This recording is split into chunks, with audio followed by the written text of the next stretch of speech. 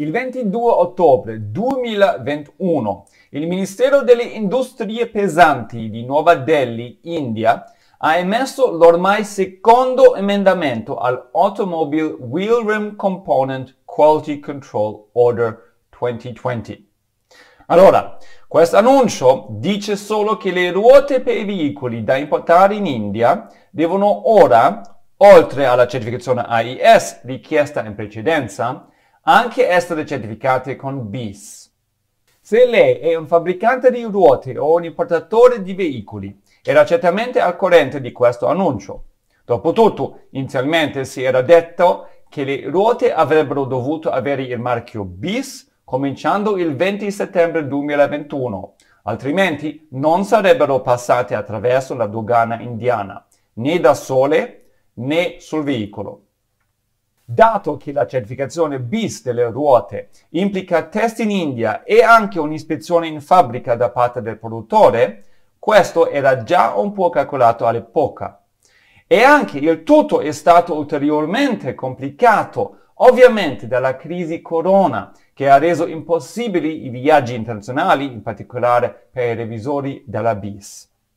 A causa di questo vincolo temporale, l'annuncio del 21 settembre 2020 è stato modificato la prima volta il 28 maggio 2021, nel senso che l'obbligo di certificazione per le ruote non sarebbe più entrato in effetto il 20 settembre 2021, ma solo il 22 marzo 2022, cioè mezzo anno dopo.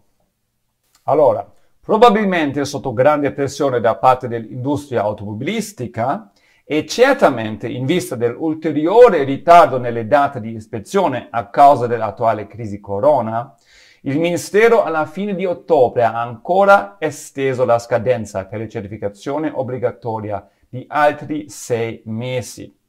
Cioè le ruote non devono essere marcate con il logo BIS fino al 21 settembre 2022 per poter passare attraverso la dogana indiana.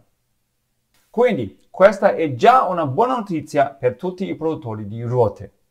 Indipendentemente da ciò, dato che la BIS vuole sempre così tanto tempo per organizzare un'ispezione, immagino comunque che la BIS potrebbe anche non aver finito di controllare tutti i produttori che avevano fatte fatto domanda di certificazione molto tempo fa, entro il 20, 21 marzo 2022. Quindi questo era l'unico modo logico per evitare ulteriori ritardi e colli di bottiglia nella fornitura. E anche questo secondo emendamento all'ordinanza sui componenti dei cerchioni non è interessante solo per i produttori di ruote, ma anche per gli importatori di veicoli finiti. Come esattamente? Bene, il terzo paragrafo del primo articolo dell'annuncio completo di settembre 2020 include tre esenzioni in base alle quali la certificazione non sarebbe richiesta o almeno semplificata. La prima eccezione è abbastanza logica. Le ruote destinate all'esportazione fuori dall'India ovviamente non hanno bisogno di certificazione per il mercato indiano. Quindi quelle sono fuori. La terza eccezione riguarda le ruote importate in India solo a scopo di ricerca. Queste due eccezioni sono rimaste. Ma ora la seconda eccezione è stata modificata.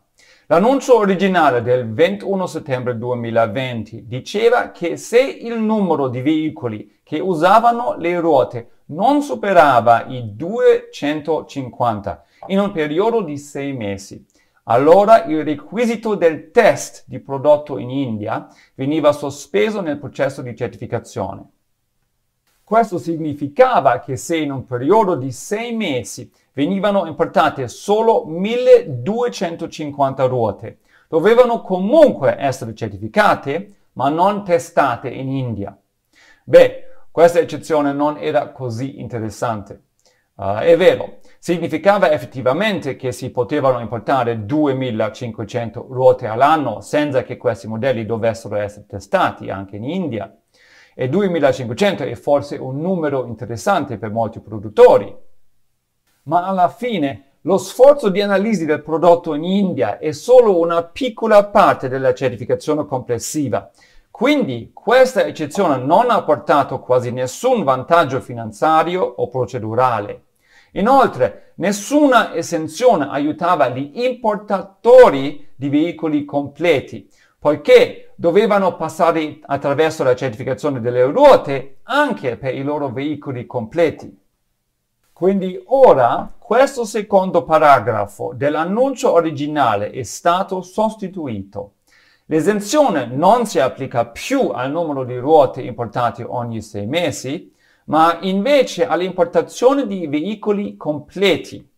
Se importa veicoli, veicoli interi, dice questa esenzione, non deve più far certificare separatamente le ruote, le ruote dei veicoli. Quindi se importa veicoli interi, ora c'è una cosa in meno di cui preoccuparsi. Comunque, sei interessato da questa notizia, ma qualcosa non è del tutto chiaro, non esiti a contattarci. Sul nostro sito web troverà sia il nostro numero di telefono che i relativi moduli di contatto. Bene, con questo la saluto, grazie mille per la sua attenzione, stia bene.